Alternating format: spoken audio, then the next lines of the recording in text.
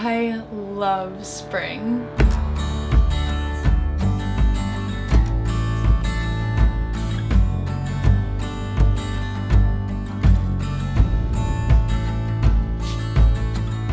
With everything around here warming up and coming out of that winter hibernation, it's finally the beginning of the spring foraging season. It's late April now and here in the hills each year can be slightly different with when the weather starts to shift. The winter and the spring always kind of quarrel for a while. We think we're finally all the way in and then we'll get a snowstorm. So things pop up at different times but this week I finally got to do two of my favorite forages that I've been looking forward to for so long pretty much since this time last year. And the first one was tapping birch trees.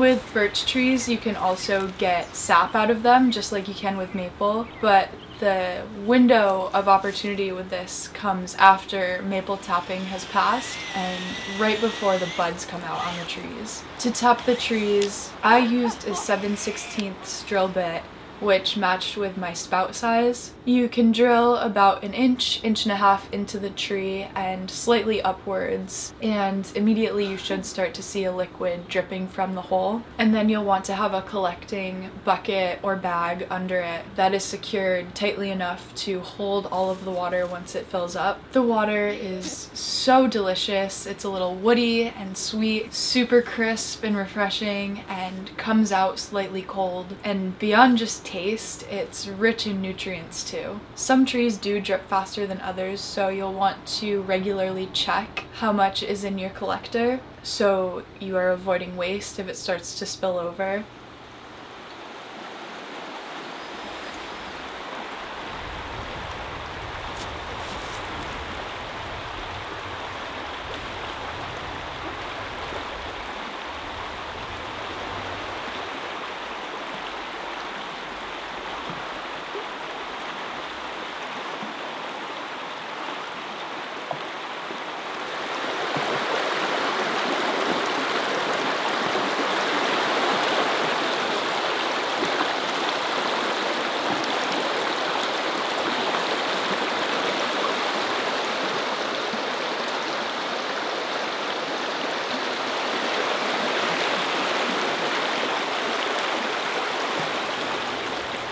And from what I've read the water can flow for about two weeks but you want to just collect enough for what you'll use. When done properly you're not going to damage the tree or kill it. You definitely want to collect responsibly and when you're finished you'll definitely need to plug the hole and I find the easiest way to do that is to take a stick that is just a little bit bigger than the hole and you can hammer it in. Just stay there for a minute and make sure that there's no excess liquid coming out still. It may take a few tries to find a stick that works best but it is very important that you do create that plug. You want to respect the tree and take care of it.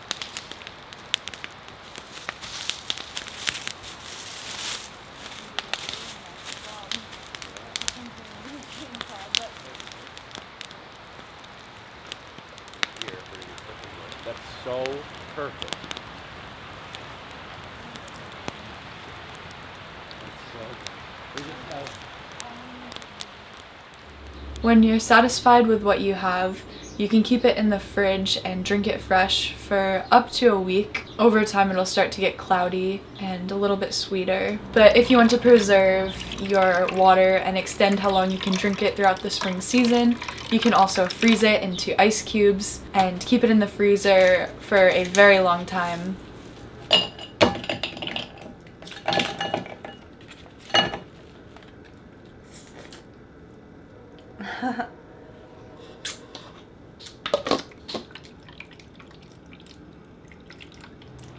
Like I'm doing right now, I'll just pop a couple of the birch water ice cubes in with a fresh glass of water, and I love it. It's such a powerful drink.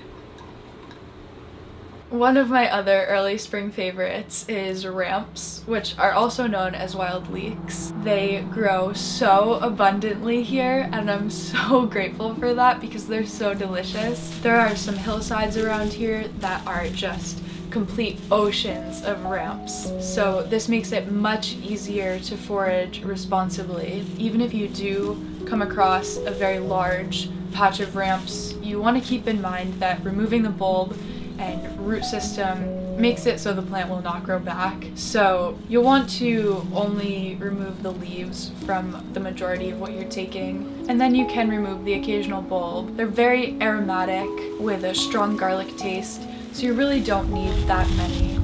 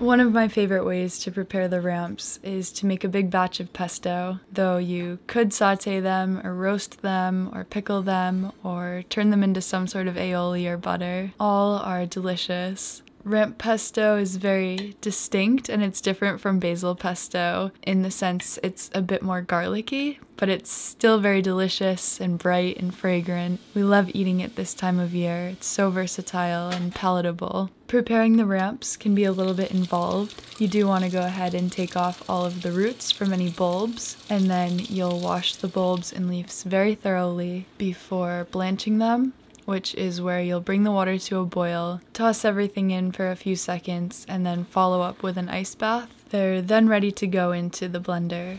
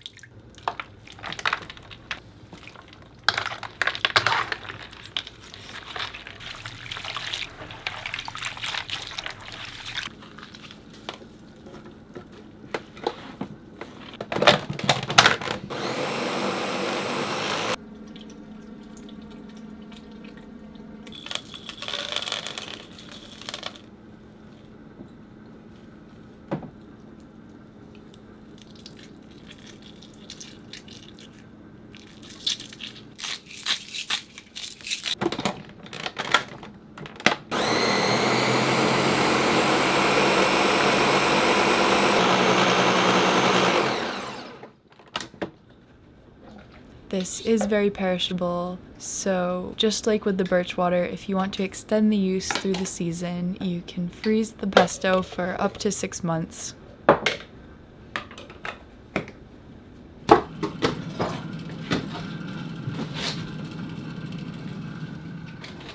And as the season progresses, it's important to carry the mindset of being grateful and only taking what you need. When done right, it's such a beautiful thing to embrace the ephemerality of these foraging time frames and the ability to really tune in to your surroundings and live with the land. This is just the beginning and there's so much to look forward to. Ah.